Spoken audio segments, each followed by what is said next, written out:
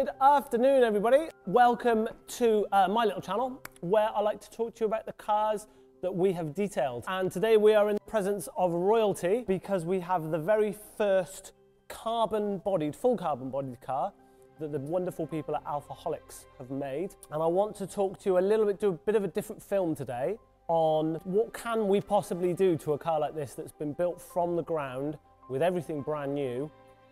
Why is it here? So I want to run you through a little bit more of that. We will walk around the car together and we'll just go through some of the different surfaces and areas on the car um, and let you know a little bit more in depth about what we've got on the, a job like this.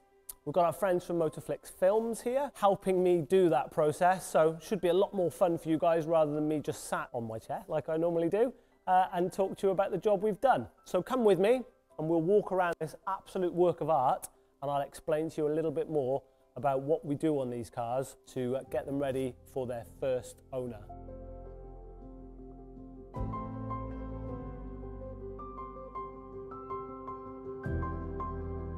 So these cars are built from brand new. They are a brand new car. One of the key areas we get involved in that we wouldn't so much on a normal detail is the engine bay.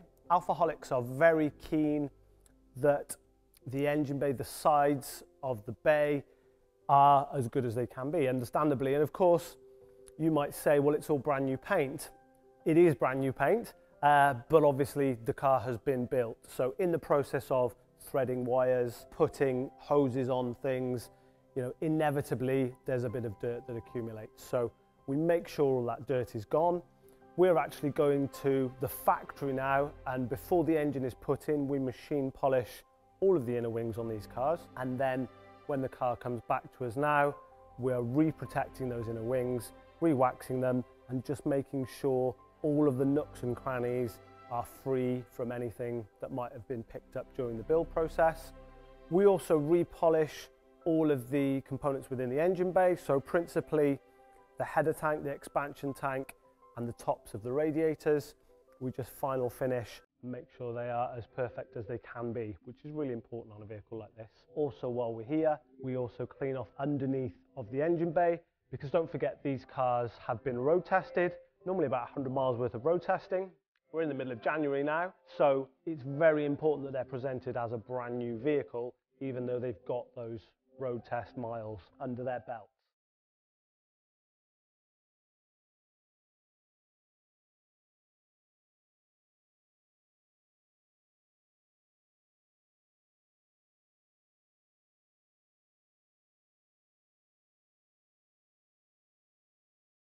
So another area that we pay more attention to with this sort of detail than we would on maybe a new car detail is the exterior bright work. These cars are built from new, but they are built from a, a sort of donor shell. So some of the bright work, so the window is original to the donor vehicle but has been repolished. A lot of the bright work, so the wiper arms, the headlight bezels are brand new.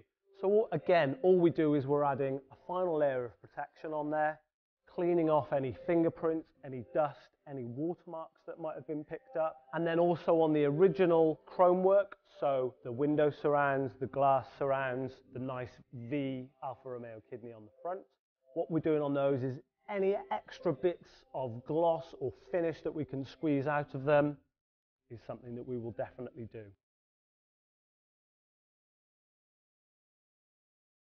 Because these cars are built from new, they've been test driven, it's really important for alfaholics that we just make sure all of these returns, all of these exquisite details that they have are clean. So we clean all in here. This is another big dirt trap on top of the front doors. These sills are the original ones which have already been polished before they come to us. And again, we just make sure they're free of watermarks. We can improve the finish any more, that's what we do. Um, and again, all of these rubbers, anything else is something that we really try and, what we're trying to do here is present a brand new car, even though it's been built from scratch, it's been hand built and it's been test driven. So we're just making it, making it ready for its new owner. Same with the interior. The seats will get a wipe over, the interior will be vacuumed and anything it needs, anything we can improve upon, we will do so. So again, very similar job in the boot to under the bonnet. Uh, there are obviously some beautiful details in here with it being the first full carbon car.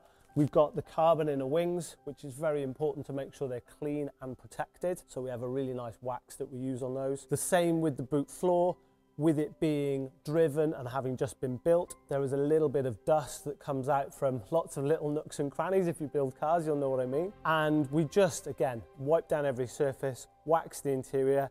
Sometimes we will need to polish and just paint correct. We can, there's a little bit more of the finish on these painted surfaces that we can just maximize every now and again. Little things like this exposed carbon on these shuts, if we can increase the finish, and of course, the big part of our job on the whole car is to protect every surface. So that's something else that we will do whilst we're in under this boot. So one of the things you might notice on this car, if you've seen a few of these beautiful Alfaholics GTARs, is that this one has no badging on it yet.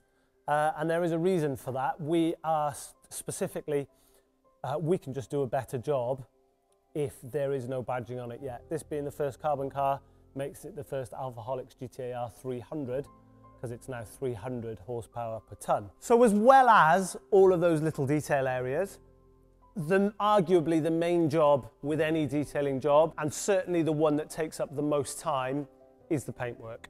Uh, and this car is no exception. They are, I suppose, what you'd call hand painted. So these cars are painted to a very high standard in the paint shop. Alfaholics will tell you, even on the non-carbon bodied cars, there is more than 2,000 hours in the bodywork. And our job really is to be the icing on the cake. Really, the job is to take that paintwork from a nine and a half out of 10 to a 10. Remember, they've done a couple of miles for bedding in. The car has been built. It's had an interior put in it. So since it was painted as a bare shell, without doubt, you're gonna, you know, just through the course of doing stuff, you're gonna pick up the odd bit of dust or thumbprint and fingerprint and a few other bits and pieces. So we can just turn the screw ever so slightly on the finish a bit more and again protection. Every car leaves us being fully ceramic coated, which leaves it nice and easy for the new owner to care for, easy to wash and resist damage that little bit more. But we really try and just, all the little things we can see in a detailer's eye, we're just trying to increase that sharpness of the paint up to 10. Just really bring out the depth in this. This car is a, a period color called Bluette. What we're trying to do is really make that color perfect. And there's a few tricks we can do with the machine polisher and with ultra fine finishing on a machine polisher just to make sure that car looks how I hope it looks to you guys there. Just super glossy, super flat, just almost unreal. Um, some people just call it the new car look. Um, and that is what we can give any car really. And on something like this, it's ultra important that we give it that real glow. So I hope you enjoyed that walk around, a bit more detail rather than me just sitting on my chair like I normally would. Big thanks to Christian from Motorflix for coming down and helping to film this. I would just cover myself slightly by saying because of the way these things work, this particular vehicle is about halfway through the amount of work we would do. So the paint has had all of the base correction work done, all the, all the heavy lifting, I suppose, if you want to use that phrase, done on it. What is left for me to do now is to do all the final wringing out of as much gloss and depth as I can with some ultra fine finishing. And of course, after we've done that process, I will then ceramic coat the paint and then I've got lots of other little details to finish. So the glass will need cleaning, the wheels will need their final clean, lots of things will need a final wipe over. So in some of the detail shots on this film, you might notice the odd fingerprint or, or things like that. Please forgive me those, just, just because of the way we have to film this sort of stuff. At the end of the day, I'm a detailing workshop. So the car has essentially been filmed halfway through. So hopefully you'll forgive me that little bit of a videographing license, or whatever you want to call it. So all that remains for me to say is thanks very much if you've made it this far through the film. Um, I do hope you've enjoyed it. Again, we're trying to film these things a bit better, add a bit of production value with the guys from Motorflix, um, and really make these things a bit more watchable for you guys. So if you've noticed that that is a difference on this film, please let me know, because it takes quite a lot more effort to do it. Um, so do let me know. Do give the guys on Motorflix a follow. If you're not subscribed to this channel, of course, do give us a subscribe and a thumbs up and share your mates and tag anyone you know who's got an Alfaholics GTAR on order, because there was quite a big order, seven year order waitlist, I think there is for these now. So, an incredible thing Um, and thank you most of all, actually, to Alfaholics and to the owner of this vehicle who has specified it to his own perfect specification, really. So, you know, thank you to you very much for just making something beautiful. So thank you very much, guys. And um, we look forward to not only seeing you on the next GTAR, but on the next car that leaves TI22. Thank you very much.